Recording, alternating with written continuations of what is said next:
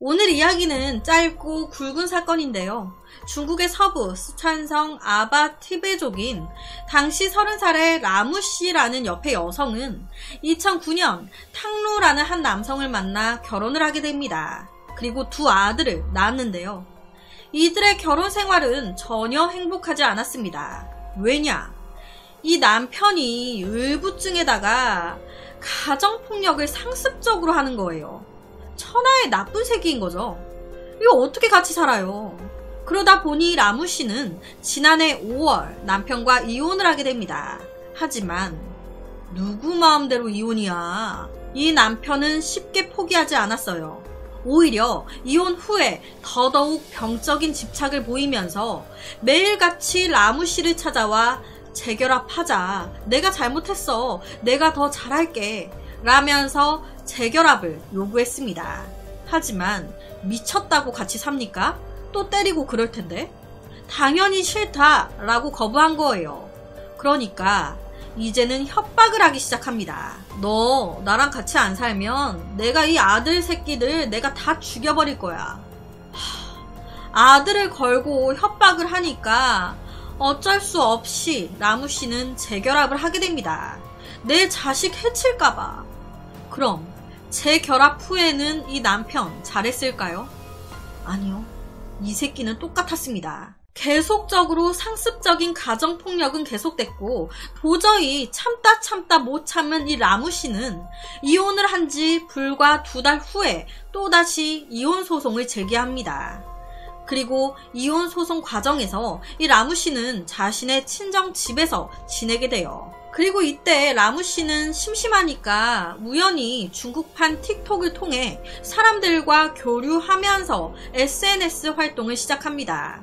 라무 씨는 자기가 살고 있었던 지역에서 밭일하는 거, 집안일 하는 거 등등 소소하게 일상을 찍으면서 많은 사람들에게 공감 그리고 인기를 얻었어요.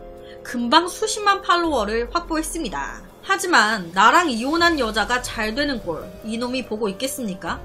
지난해 9월 14일 오후 8시쯤 라무 씨는 그날 평소처럼 중국판 틱톡을 켜서 인터넷 생방송으로 사람들과 소통을 하고 있었습니다. 그런데 그때 생방송 중에 이 전 남편이 집 안으로 들어온 거예요. 그리고는 다짜고짜 갑자기 라무 씨의 몸에 휘발유를 뿌리기 시작했습니다. 뭐야, 뭐 하는 거야? 그리고 그 순간 바로 불을 붙였어요. 라무 씨의 몸에 불을 붙인 거예요. 그 불은 삽시간에 방 안으로 번졌고 라무 씨는 뜨거운 불길에 허덕이다 온 몸에 화상을 입고 쓰러졌습니다. 이 무슨 상황입니까? 여기서 더욱더 충격적인 건 이 모든 상황을 라무 씨의 생방송을 시청 중이었던 많은 팔로워들이 보고 있었다는 거예요. 와, 라무 씨는 신고를 받고 출동한 구조대에 의해서 인근 병원으로 이송됐습니다. 하지만 상태가 너무 심각했어요. 전신에 90% 이상 화상을 입었고 중태에 빠졌습니다.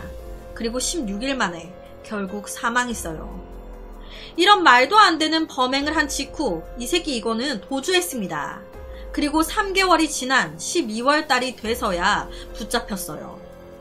와, 중국 검찰은 이 지독한 이 새끼에게 고의 살인죄를 적용해 재판에 넘겼습니다.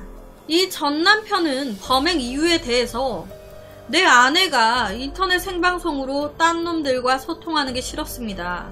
그래서 아내 몸에 불을 붙인 거예요. 라고 얘기했대요. 이게 말입니까?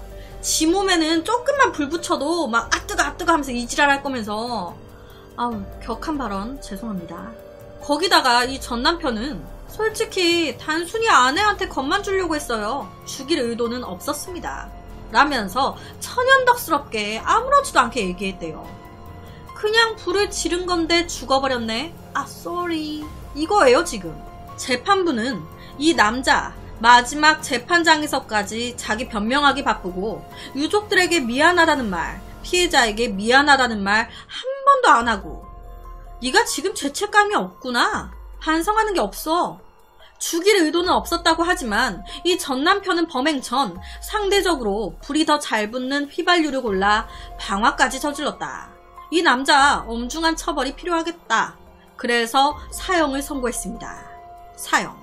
사형을 선고하는 게 정의로운 처분인 것 같다고. 중국은 사형을 집행하잖아요. 죽기 직전까지 죽음의 공포에서 벌벌 떨었으면 좋겠네요. 그래서 오늘은 중국에서 벌어진 진짜 말도 안 되는 내 전처가 다른 남자들과 생방송으로 이야기하는 게 싫다며 이혼 소송 중인 아내의 몸에 불을 지른 천하의 나쁜 놈에 대한 이야기를 가지고 왔습니다.